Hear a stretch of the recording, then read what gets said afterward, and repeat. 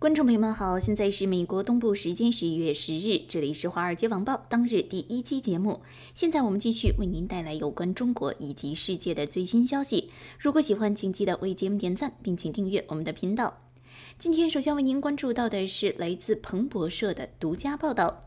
文章引述拜登政府高级官员表示，由于缺乏对于习近平核心圈子的顶级情报，拜登政府的高级官员感到沮丧。他们试图预测北京下一步行动的能力受到了阻碍。文章引述不愿透露姓名的官员表示，中国现在已成为更难对付的情报目标，现在更加的不透明，而美国了解习近平决策的需求却在飙升。同时，文章表示。美国的间谍机构长期以来一直努力提供政策制定者所需的有关于中国的情报，而现在美国情报界面临的障碍既是根深蒂固的，比如中国政府对于美国在中国的间谍网络进行了严重破坏，而同时也面临着基本的技术问题，比如持续缺乏会讲普通话的人。前国家安全顾问博尔顿曾在采访中透露，我们的情报落后了几十年。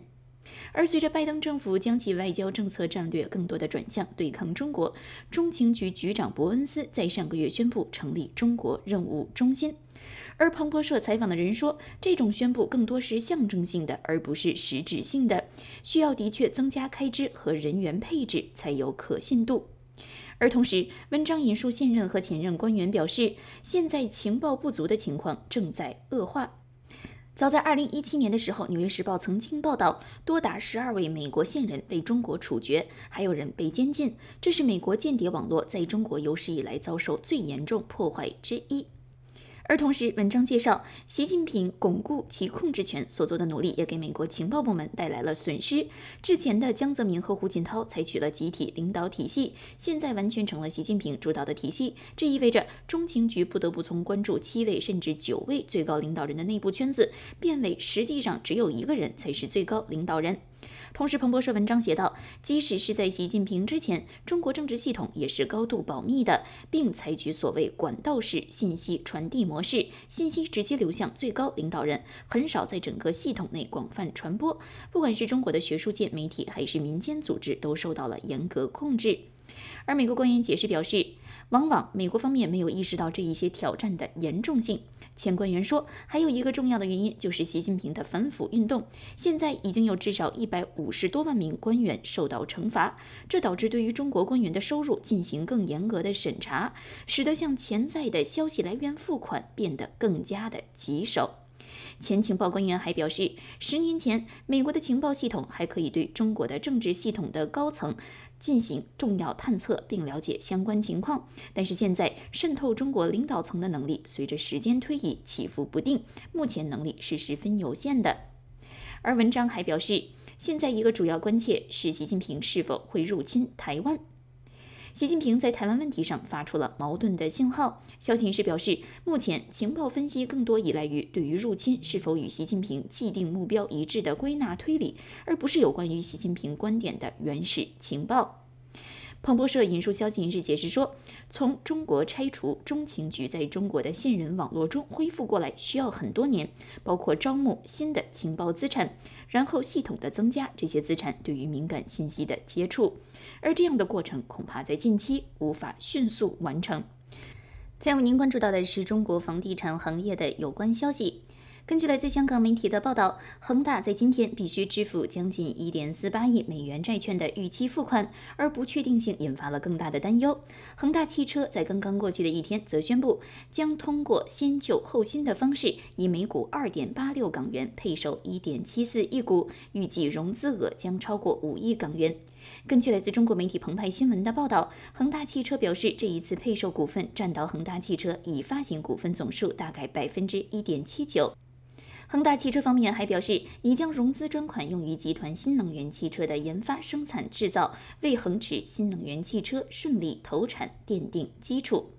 而同时，根据香港媒体报道，许家印近日又卖掉了香港太平山顶的第二间独栋别墅，以私人财产救恒大。根据香港媒体的报道，许家印以巨山有限公司的名义持有山顶布利径十号 C 座独栋别墅，也是巨山唯一股东。根据公司注册处资料，在十月九日，巨山提交的抵押文件显示，房产已经抵押给一家名叫欧力士亚洲资本有限公司的企业。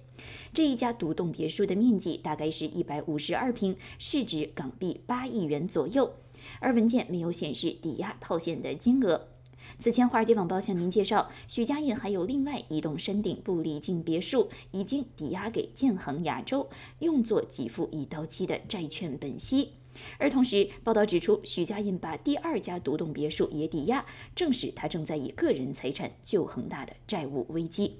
再为您关注到的也是跟房地产行业政策有关的消息。根据来自财联社的独家报道，对于地产收并购，近期部分央企国企向监管反映，如果要做一些城债式收购，三条红线就会被突破，建议监管部门对于三条红线相关指标予以调整。目前，中国方面尚未对此消息进行更多的回应。而提及有关于房地产行业近期遇到的困局，根据太平洋地产首席分析师徐超的观点，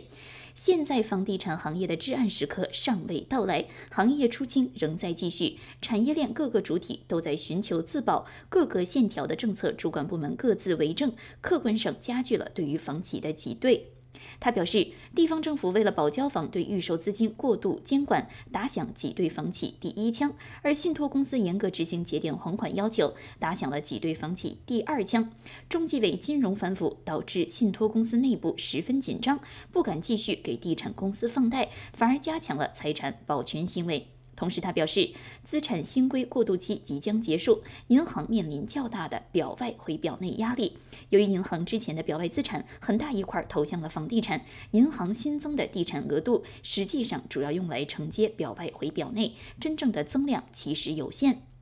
而在谈及行业何时见底时，分析师则表示，需要看到国企和城投大规模输出信用才行。现在开发商不拿土地，土地财政只有靠城投公司自己拿地盖房子卖给老百姓也可以，没有中间商赚差价。同时，他分析认为，开发商之前起到的作用是替政府和杠杆并承担风险，但是同时也赚走了土地升值的利润。现在民营房企没有办法承担这个任务，只能让城投公司来替代。在谈及有关于行业集中度是否会提高的问题时，分析师表示未必如此。倒下的民营房企尸体并不是被龙头房企分食的。现在很多之前获利了解、拿着钱离场的小老板都重出江湖，大量城投公司开始拿地，看好代建板块。无论是城投还是小老板抄底拿地之后，都有大量代建的需求。再为您关注到的是这一时段的其他消息，一起来看到来自《华尔街日报》的报道。文章介绍，根据国家统计局的数据，十月份生产者价格指数比去年同期增长创纪录的百分之十三点五，比九月份的百分之十点七增长更快。这样的数字超过了《华尔街日报》调查经济学家预测百分之十二点五的中值，也是一九九六年中国官方开始发布数据以来的最高水平。文章引述国家统计局的统计师说，十月份极端天气和商品短缺提升了中国的消费通胀，而生产者通胀增幅扩大，部分原因是能源和原材料的供应相对紧张。华尔街日报引述经济学家分析表示，中国的工厂交货价格持续走高，可能会加剧美国还有其他西方经济体的通胀焦虑，而对中国自己的消费者造成的痛苦有限，很大程度上是因为国内的需求复苏还没有达到预期。而同时，由于能源成本激增，中国当局下令煤矿企业满负荷运转，放松了对于进口的限制。上周产量达到多年来高点之后，煤炭价格现在开始回调。文章引述经济学家预测表示，中国的工业通胀率未来几个月可能会趋于下降。北京的干预措施会随着时间的推移，更多的削减煤炭价格。此外，他们表示，西方国家对于中国商品的消费需求可能会出现进一步回落。说完了中国，再要为您关注到的是美国通胀有关消息。在刚刚过去的周二，美国圣路易斯联邦储蓄银行行长布拉德表示，预计美联储在结束债券购买计划后，会在2022年两次上调基准利率。布拉德本人并不是美联储政策制定委员会2021年的投票委员，但是将在2022年成为投票委员。因此，外界普遍分析，他对于美联储加息两次的判断十分值得重视。布拉德当时表示，他的观点基于当前的经济数据预测，可能随着时间的推移改变。他说，评估明年的形势，再看当前的情况，我们可以决定是否提高政策利率。而鉴于我的判断，实际上我计划在2022年加息两次。不过在进入明年上半年的时候，情况可能会发生变化。布拉德一向比美联储其他官员更加偏鹰派。而相对于坚持认为通胀是暂时的人，布拉德对于美国的通胀水平表现忧虑。周二公布的最新数据显示，美国十月 PPI 同比上涨百分之八点六，创下了十一年最高年度涨幅。随着美国从疫情中恢复，美联储现在缩减宽松的路上已表示出更强烈的信号。在上周，美联储表示，本月晚些时候将开始缩减债券购买规模，并表示物价上涨的速度和持续时间超过此前预期。感谢您来到由我李琦 Lizzy 为您带来的今日华尔街频道。在看过节目之后，如果喜欢，请别忘了为节目点赞，也请您在留言区留下您对节目的见解和意见。如果您是频道会员的话，我们会在第一时间回复您的留言，解答您的疑问。另外，如果还没有订阅的话，请记得要订阅频道，并且打开订阅按钮旁边的小铃铛，这样您就可以在第一时间收到节目发布的最新信息了。再次感谢您观看今日华尔街频道，我是李琦，我们下次再会。